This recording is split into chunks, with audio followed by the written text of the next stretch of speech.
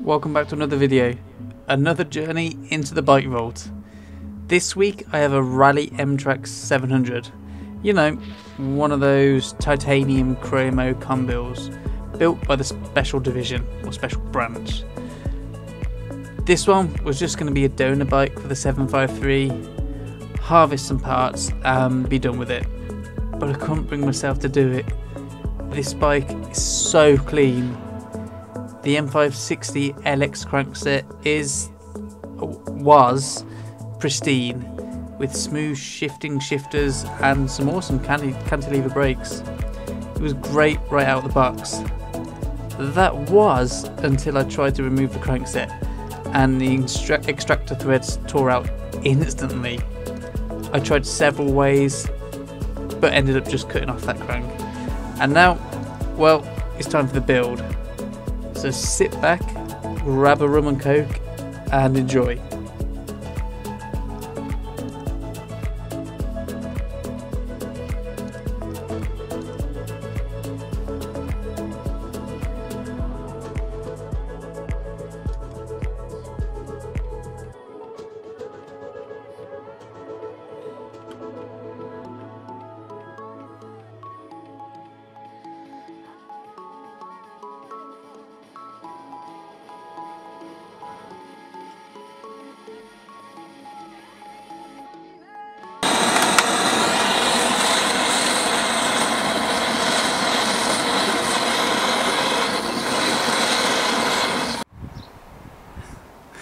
Once, the supervisor is back on duty.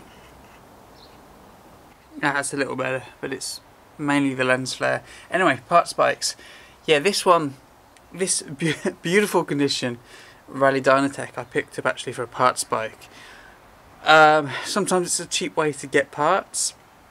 In fact, a lot of the time it's cheap way to get parts, but this one I was really struggling to bring myself to break apart. That has been helped by that bottom bracket, or that crank arm, should I say. The drive side crank arm I tried to get off, um, fully wound in the tool, and um, yeah, it just popped the threads right out. There was barely any resistance to them, they just came straight out. They looked okay, whether someone had tried to get them off before, I don't know. But yeah, I tried various methods. Um, I tried heating them up to try and loosen the bond and then use whatever threads were remaining to get it off. Didn't work. Sprayed them down. Didn't work. Uh, tried the gear puller method. Didn't work. So I ended up just doing a Marin Man and um, cutting it off. Yeah, so that's cut off now. And seeing as that's happened, I'm thinking I might as well turn this bike into something a bit different.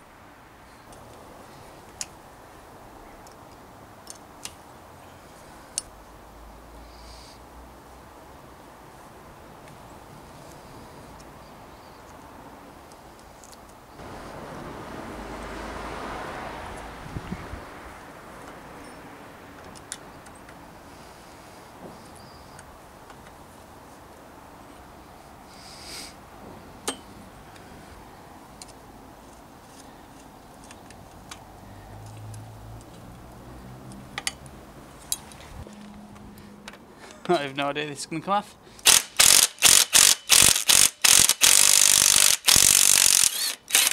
Hell yeah.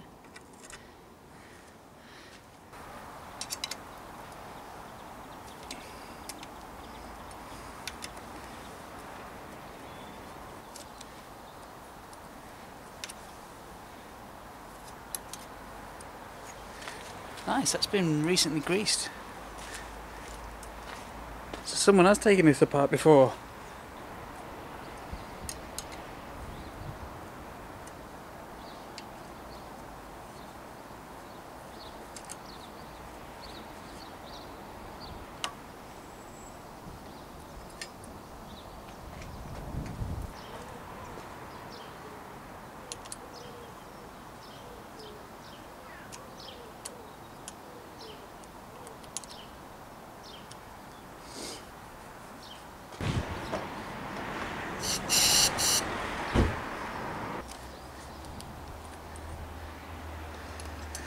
Okay.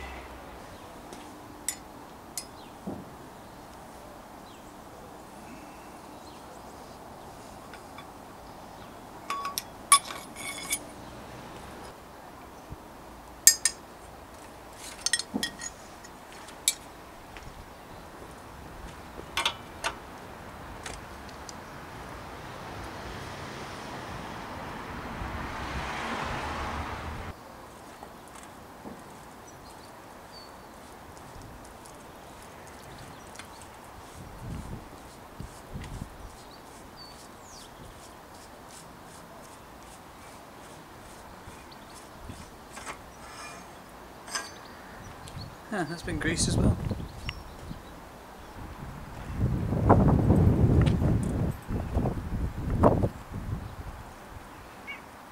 Hey Tov.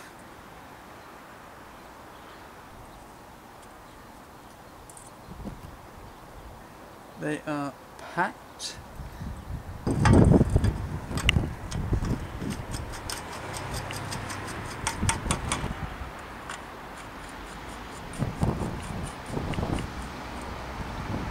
Spell it.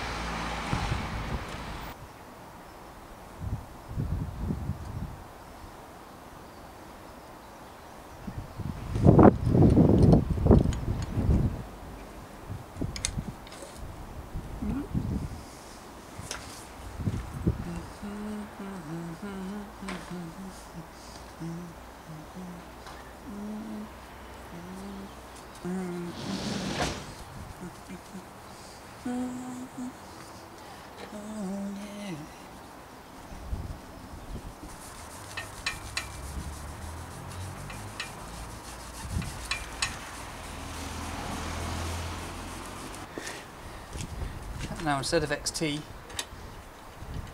we've got SLX this time. A little bit cheaper, um, and this is going to be sort of a commuter spec anyway, so it should work. Nice 10 speed SLX derailleur.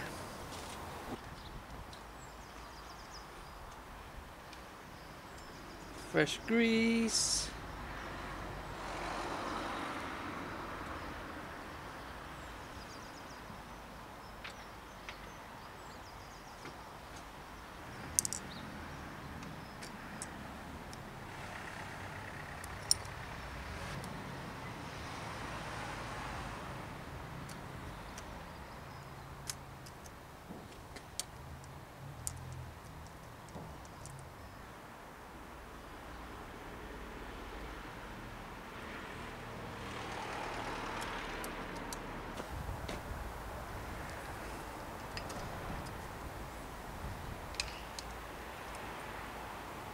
Should be right.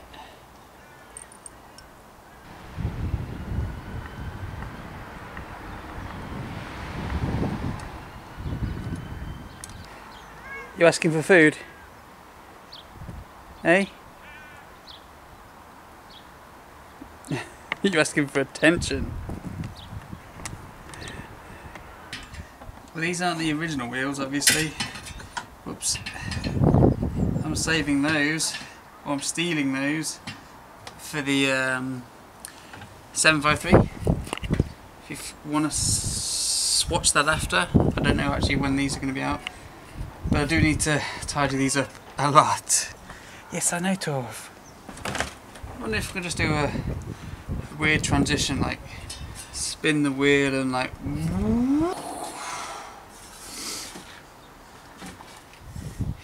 Easy as that. Oh wow. Oh, thank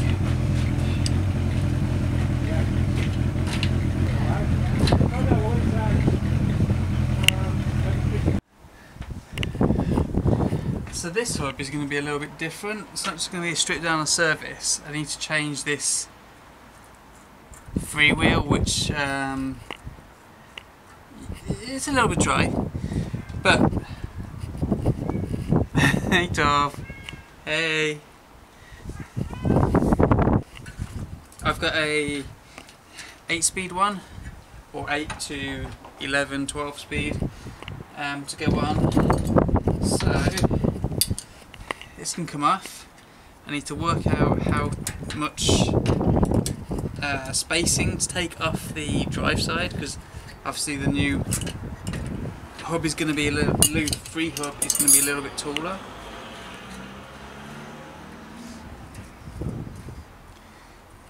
So we've got this to come off. Um, you can obviously do it just by well by taking spacing out the non-drive side. Then you've got to try and uh, change the dishing of the rim. And if it's an old rim, then it can be a little bit difficult because you know see spokes. So this is just an easy way to do it. Again, and with that off, should be a 10 mil uh, Allen key to go in the middle. Might be a bit tight.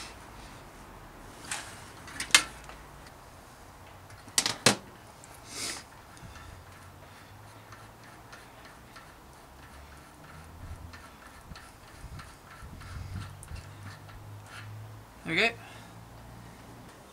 Okay, so these are the two freewheels. Um, seven speed, or up to up to seven speed, with the obviously Uniglide and Hyperglide. This one is eight speed plus. You can see it's ever so slightly taller. I think when I did this before, there was only about two mil difference in height. Um, but what I did that because I want to compare where the bearing surfaces are going to sit inside. So, like first what I did, I had the original bolt in there, you can see that, and I just took a measurement with that sitting flush and the bolt sits on the on the bottom of the bearing surface so if I can get roughly the same uh, at the end of it by removing some spaces from the drive side, the wheel should be centered. So what I'm looking at about 13 and a half mil for that. Pop that out. That's the new one. Drop the old one in.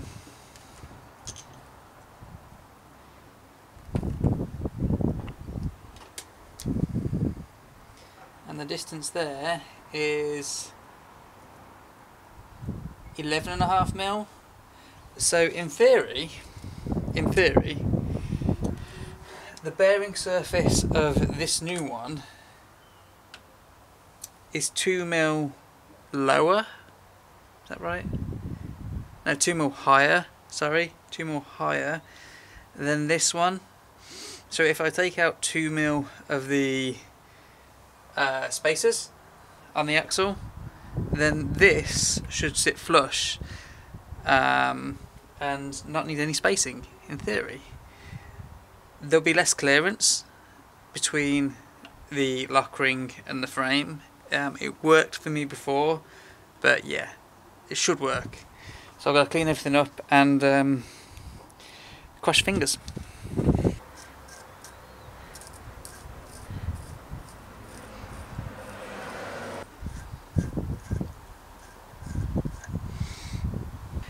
Yeah, on the last one I did, this one wasn't joined, so I could just take out those.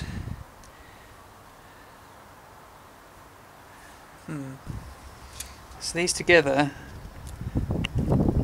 15.6. This one on its own, 13.6. I think that might work.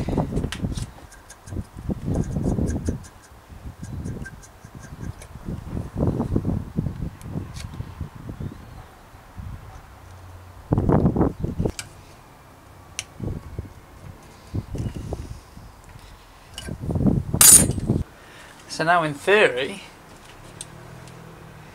in theory, that goes on there.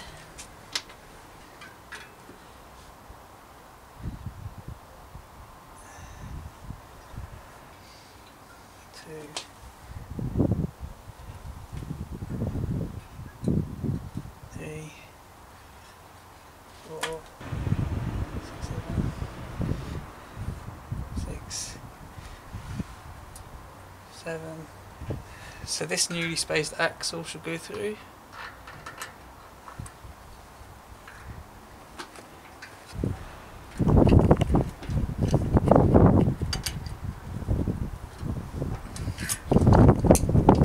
And that in theory should then, once put the tyre on properly, sit square in the frame.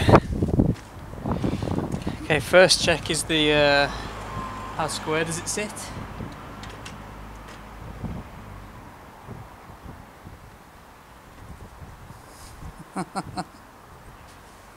oh my god. The wheel set there picked up this 130 mil, not 135. So I need to buy another 2 mil on each side anyway.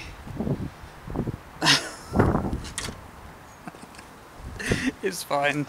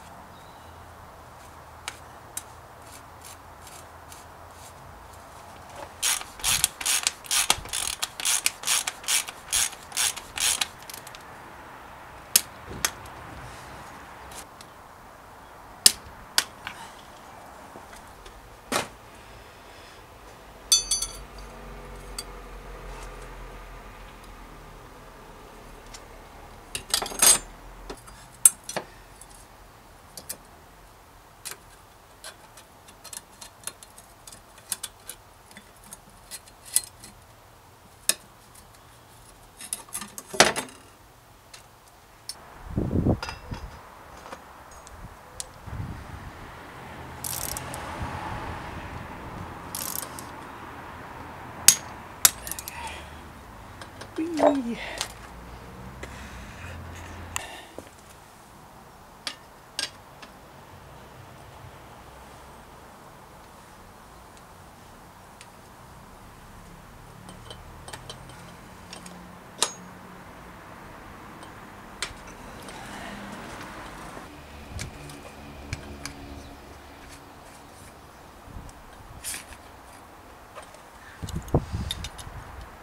Oh, need to undo these.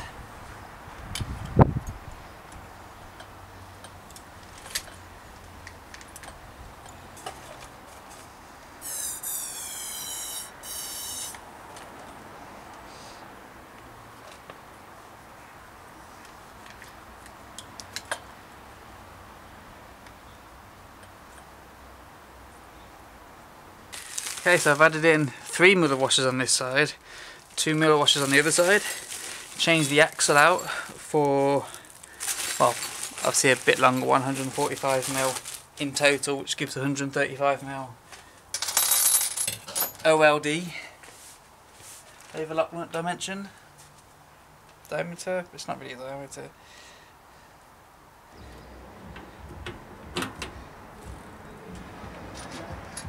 All this free hub. Have any issues with the lock ring on this?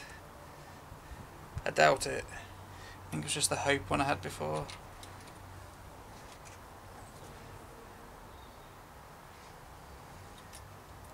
There we go. And that is why we switch out the free hub.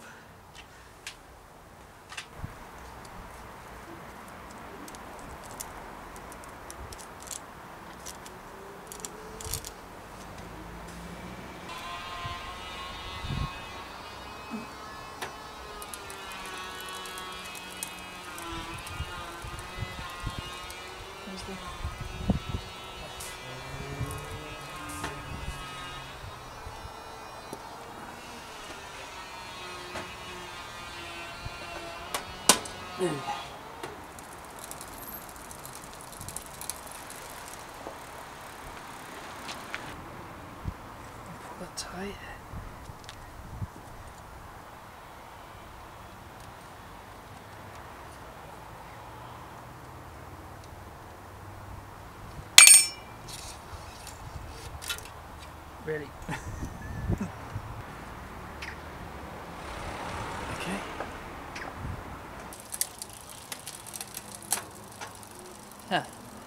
the uh, eh, balancing point.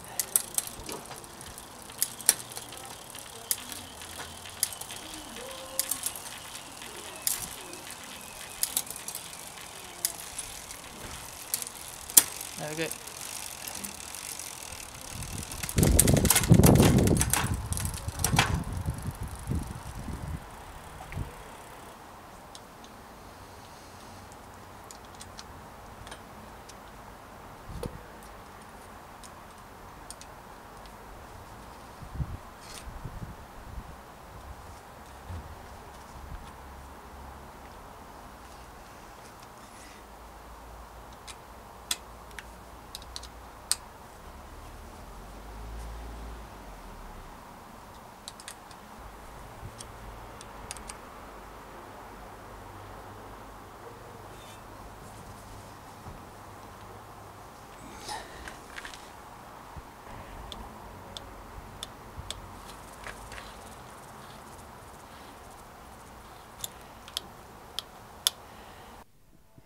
So that's it for another build. Hope you enjoyed it and maybe learnt something along the way.